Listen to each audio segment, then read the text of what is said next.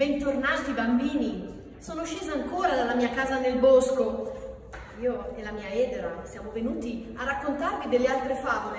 Volete ascoltarle? Adesso vi racconterò la favola del pulcino nero. Quasi quasi un copione per cartoni animati. Un gatto nero camminava tranquillo per i fatti suoi un pulcino nero, pigolo allegro nel giardino. Il gatto nero vede il pulcino nero e il pulcino si è accorto che il gatto lo ha visto. Il gatto fa finta di non aver visto il pulcino. Il pulcino sa che il gatto ha fatto finta di non averlo visto. E il pulcino fa finta di becchettare qua e là. Un cane nero sonnecchia preoccupato nel giardino. Ha visto il gatto nero e ha visto il pulcino nero. Il cane nero fa finta di non aver visto il gatto e il pulcino. Il cane chiude gli occhi per sonnecchiare nel pomeriggio caldo. Un uomo nero passeggia e fuma il suo sigaro. L'uomo nero ha visto il cane. Distratto, l'uomo tira un sasso al cane. Il cane si scuote ma continua a sonnecchiare. L'uomo dà una tiratina al sigaro e tira un altro sasso al cane. Il cane abbaia infastidito. Il gatto si spaventa all'abbaiare del cane. Il pulcino vede il gatto spaventato e si spaventa anche lui. Il gatto esce dal giardino e saltando dal muretto di ricensione. Il pulcino, per involontaria imitazione, cerca di inseguirlo, ma ha paura di saltare, non ce la può fare, non ce la fa. L'uomo fuma il sigaro e pensa ai fatti suoi non ha visto la scena, avrebbe sorriso. Il cane in agitazione vede il pulcino e si mette ad abbaiare. L'uomo ordina al cane di stare zitto. Il pulcino si nasconde dietro una pianta di pomodori. Il cane si zittisce e riprende a sonnecchiare. L'uomo comincia a passeggiare. Si accorge che il pulcino becchetta i pomodori e lo caccia via. Il pulcino scappa, via, pigolante, e sempre più spaventato. Il gatto sente i pigolii del pulcino e si riaffaccia sul muretto. Il pulcino cerca di riprendere il suo cammino con indifferenza. Il gatto salta giù dal muretto e rientra nel giardino. Il cane si rimette ad abbaiare e l'uomo ricomincia a ordinargli di stare zitto. Il pulcino scappa via.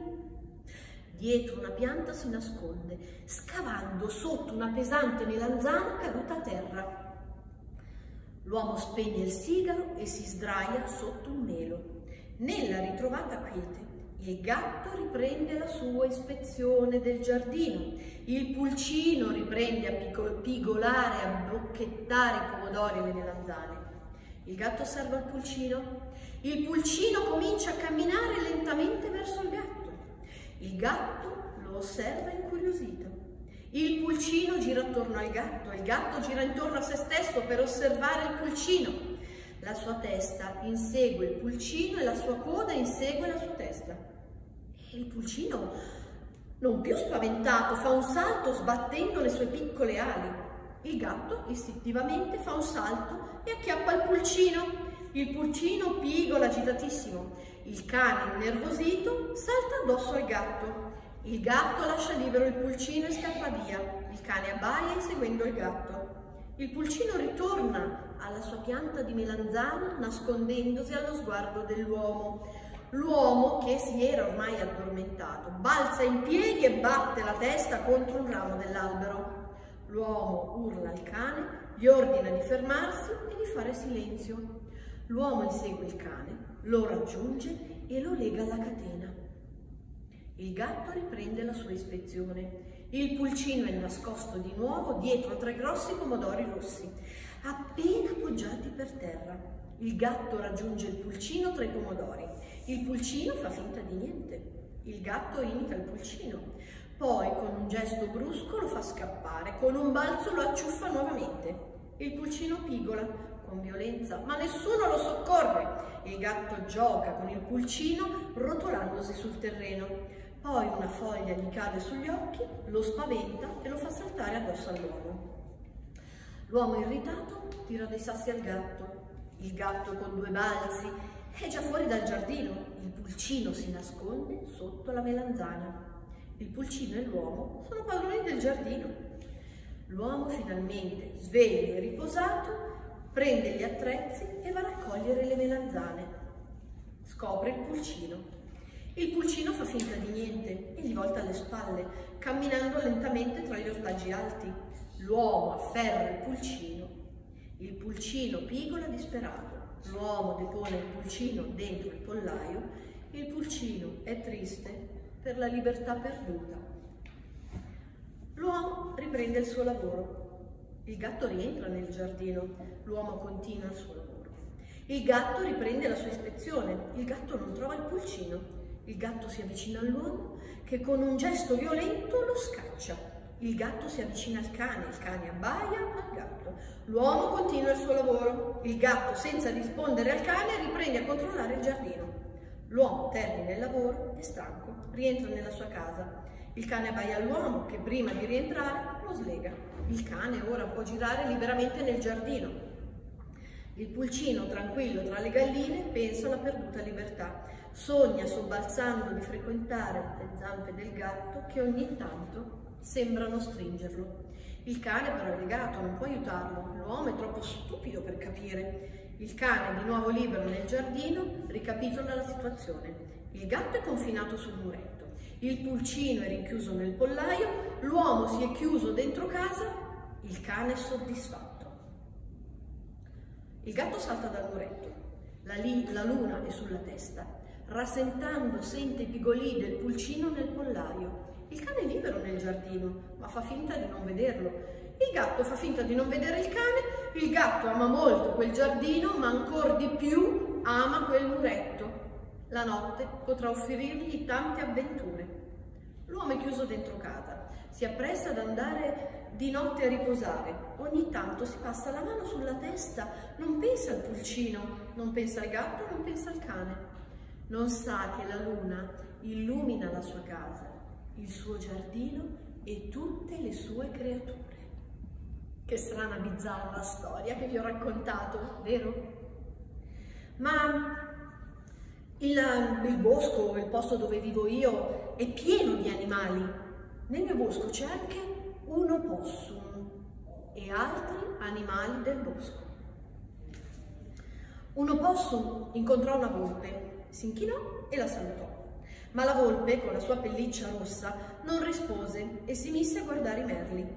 L'opossum sgattalò via, sgattaloiò via, contento comunque. Un merlo guardò la volpe e senza dirle niente la rimproverò. La volpe si mozzicò a lungo la splendida coda, non sapeva cosa pensare. Venne un improvviso temporale e lei cercò solo di proteggere la sua coda dalla pioggia.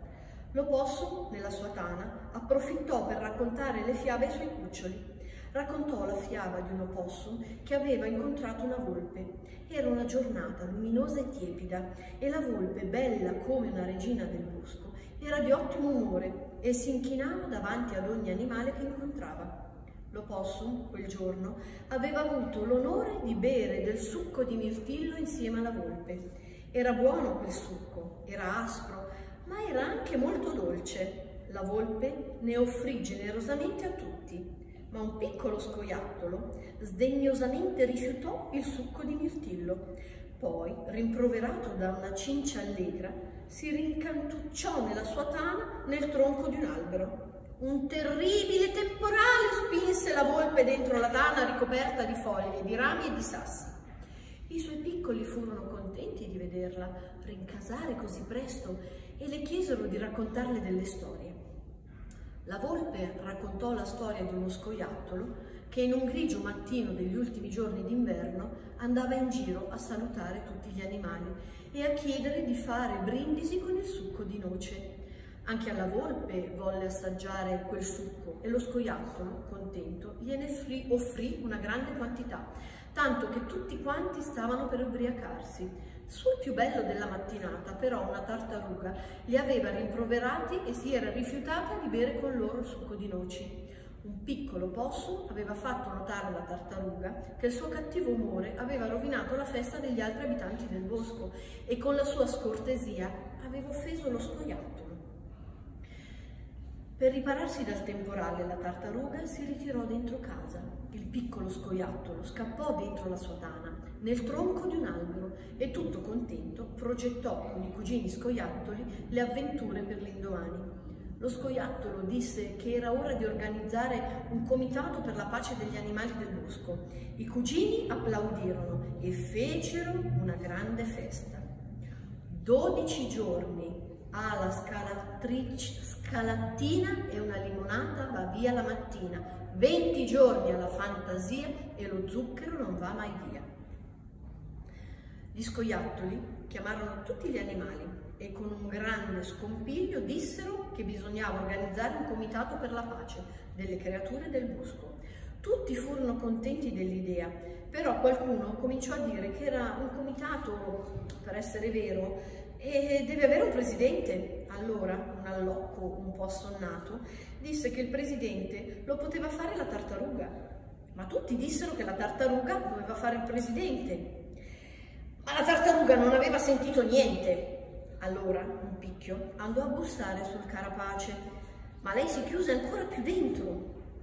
A questo punto, su consiglio di un gufo, tutti si zittirono e un cinghialetto lasciò davanti al gufo cinque foglie di tenero radicchio. In silenzio tutti aspettarono finché la tartaruga, tranquillizzata dal silenzio, aprì gli occhi e vedendo l'insalata tirò fuori la testa per mangiare. Fu allora che tutti la proclamarono presidente del Comitato per la pace del bosco. Da allora in quel bosco tutti gli animali vivono d'accordo, perché lì la pace è voluta da tutti quanti ed è fatta rispettare dalla tartaruga. La tartaruga infatti se ne andava a spasso contenta e gli animali la salutavano. Buongiorno signora Presidente del Comitato della Pace del Bosco. E lei rispondeva, Buongiorno carissimi amici del bosco. Ogni volta che vi incontro mi viene allegria, ma per prudenza mi chiudo dentro casa mia. Tutti ridevano e tutti continuavano a fare il loro mestiere di animali del bosco, che aspettano la primavera e nella noia dell'inverno si raccontano storie di animali che non possono amarsi, anche se questo gli animali del bosco non sanno cosa significhi. Raccontano che non potevano fare altro che incontrarsi e azzuffarsi e se non uscivano con la pelliccia graffiata e le ossa rotte, finivano per rientrare nella tana a raccontare le loro avventure ai loro cuccioli e ai loro cugini. La tartaruga però dal suo uscio controllava che il bosco rimanesse in pace e che i suoi animali vissero tranquilli. Cinque gocce di rugiada fanno inclinare una margherita, cinque cristalli di brina fanno gelare tutte le dita. Le dita delle mani sono dieci, disse la sua quando io le feci. E anche la tartaruga, con il suo andare lento lento lemme lemme, è un bravissimo presidente. Vediamo un'altra storia per quest'oggi. Il bambino di Norimberga. Il bambino di Norimberga viveva con la mamma, il papà e una sorellina più grande di lui o forse più piccola. Il bambino di Norimberga si chiamava Hans. Non è originale? Non ha importanza. Hans amava mangiare le mele. Gli piace, quanto gli piacevano le mele, gli piacevano in tantissimi modi, in tutti i modi possibili e immaginabili, crude, cotte, frullate, grattugiate con il latte e con il cacao, fritte al forno, nella torta, nel riso, nello yogurt, nella marmellata, nello strudel e sulle bistecche. Mischiate con le patate e mischiate con altra frutta. Insomma, voi dite un modo e io rispondo che ad Hans in quel modo di mangiare le mele piaceva. La mamma non era contenta che Hans mangiasse le mele con la bistecca, perché sapeva che inevitabilmente avrebbe mangiato le mele e rifiutato la carne. E così succedeva con le patate, che occasionalmente venivano cotte con le mele. Lo stesso, trattandosi, erano destinati a ricevere i pezzetti della Macedonia di Hans e non riconosceva come pezzetti di mela. Questa passione creava qualche problema. Infatti, non solo in casa vi era costantemente quello stagnante odore acre di mele potreste sentire se frequentate il retrobottega di un fruttivendolo, oppure se prendete uno di quegli stravaganti alberelli deodoranti per le automobili, ma tutti quanti in famiglia erano costretti ad adattarsi alle abitudini alimentari di Hans. Tutta la spesa veniva quindi fatta in rapporto all'abbinamento possibile con le mele. La mamma e il papà, poi, per evitare di sprecare le bistecche, si sentivano obbligati a mangiarle, anche se non ne avevano voglia, Quel che è peggio è che anche la sorellina più grande o la più piccola di Hans, non saprei dire, era costretta a mangiare i cibi che potevano accostarsi con le mele. Lei, che odiava le mele e che amava tanto mangiare gli ananas ed era ghiotta di spremute di mango e di papaya. Ora, chi abbia insegnato una bambina di Norimberga a mangiare ananas e a bere spremute di mango e di papaya non si sa. Ma sapete come sono i bambini? Una continua sorpresa. A dire il vero, sembra che a scuola un giorno qualcuno avesse tenuto una lezione sulla frutta tropicale e la piccola Marlise fosse rimasta molto attratta dal modo in cui una bellissima ragazza caraibica sbucciava gli ananas e il simpatico barba di bucinasco preparava i cocktail a base di frutta esotica. Da quel giorno si dice che Marlise Proprio lei, che guardava sempre con disprezzo tutto ciò che era da sbucciare e tutto ciò che conteneva dei semi, cominciò a esercitarsi nella sbucciatura dell'ananas, che poi pretendeva di servire a tavola ai genitori o nelle festicciole pomeridiane agli amici, scolpito di mille formi di animaletti o di lettere dell'alfabeto, accompagnato da bicchieroni di frullati di frutta rosata e giallastra. I genitori dal principio furono contenti e anche il negoziante gongolava per la varietà dei prodotti che vendeva grazie ai due piccoli divoratori di frutta. Dopo qualche settimana però la mamma e il papà di Marlis e Hans si resero conto che i guai si erano moltiplicati perché in effetti mentre le mele potevano aromatizzarsi con tanti cibi, la frutta esotica poteva al massimo contribuirne, nella mentalità tipico di quella famigliola di Norimberga, alla buona riuscita di qualche dolce o di qualche stravagante risotto. Mentre Hans si limitava a mangiare le mele, la piccola Marlise pretendeva di passare la notte a preparare i suoi fruttini da distribuire l'indomani ai compagni di scuola o di gioco. Anche il frigorifero cominciò a lamentarsi perché Marlis cercava di trasformare in ghiaccioli o in gelatina i pezzi di frutta dalle mille forme. E voi sapete come sono insopportabili i frigoriferi, Apri e richiudi, riapri e dimentichi di chiuderlo. Il frigo cominciò a ronzare senza interruzione e anche a raffreddare molto poco i cibi, tanto che la mamma dovette chiamare un tecnico che ascoltò i mugugni dell'apparecchio e le suggerì di acquistarne uno nuovo. Ah, il papà di Marlis, giovane abitante di Norimberga, non fu contento della notizia e borbottò qualcosa che doveva significare Bisogna avere più cura delle cose che utilizziamo. Il frigorifero non è fatto per giocare o per fare esperimenti. Hans ascoltò molto soddisfatto le parole del papà, che per lui erano chiarissime, e fece anche dei plateali cenni di assenso. Marlis continuò, continuò con i suoi esperimenti, era una bambina di Norimberga. Presto però la scuola finì e i suoi compagni andarono in vacanza. Marlis, non riesco proprio a ricordare se era grande o più piccola di Hans. Si rattristò. Ormai in casa si rifiutavano di mangiare i suoi frullatini, le sue gelatine, i suoi ghiaccioli e lei si lasciò sfuggire un giorno una frase per Hans incomprensibile. Qual è il senso della vita? La mamma e il papà cercarono di spiegarle che sicuramente non era mai in una sola cosa, come i suoi esperimenti, e che bisogna trovarle in tante piccole cose che giorno dopo giorno avrebbero scoperto. Questa battuta sul senso della vita fece riflettere il piccolo Hans, che mentre sbocconcellava una mela pensò è necessario fare attenzione, perché se lo scopre Marlis questo affare, a me non lascia niente, devo trovarlo io. Hans cominciò a guardare in ogni angolo e si soffermava a controllare bene ogni cosa che gli appariva davanti. Immaginate voi, dalla polvere agli alberi, dalle automobili alle scarpe, dai fiori alle nuvole, dai vecchietti alle ragazzine, dalle mele al violino del suo papà. Eh, ditemi una cosa che poteva affacciarsi alla vita e all'udito di Hans e vi risponderò tranquillamente che Hans l'aveva nell'elenco delle cose che possono costituire il senso della vita. Passarono cinque giorni in cui Hans alternò la passione per le mele con la ricerca del senso della vita.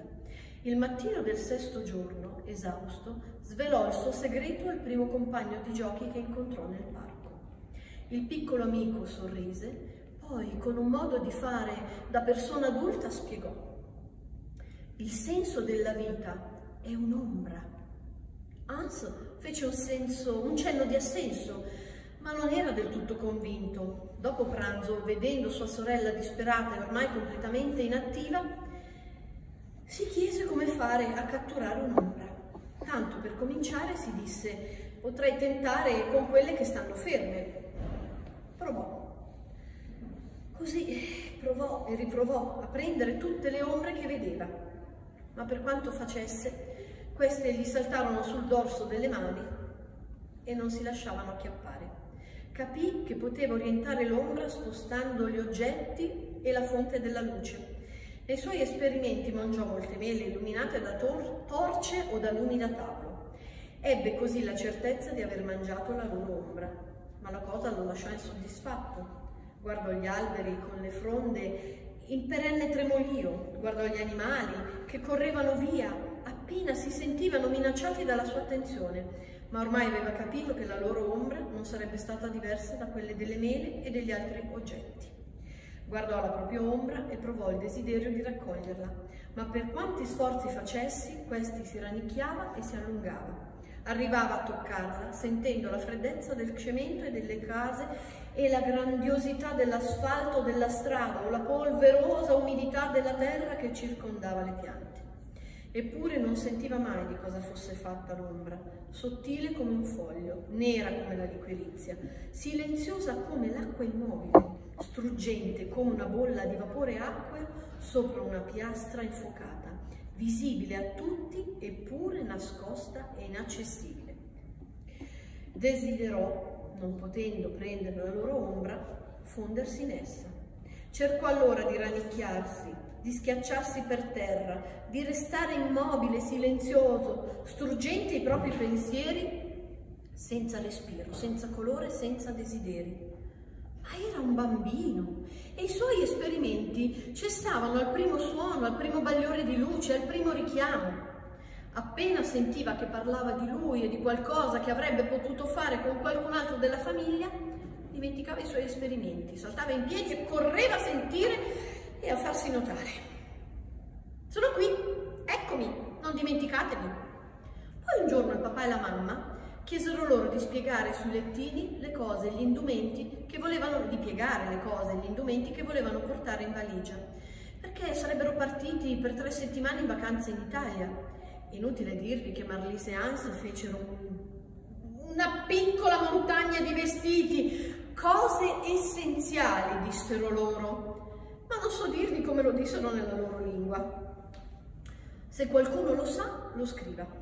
E in nota in questo punto lo scriviamo. L'Italia senza dubbio sarebbe stato un paese noioso, fatto di poeti col naso storto e di imbroglioni con i capelli unti. Tre settimane erano un periodo che non finiva mai.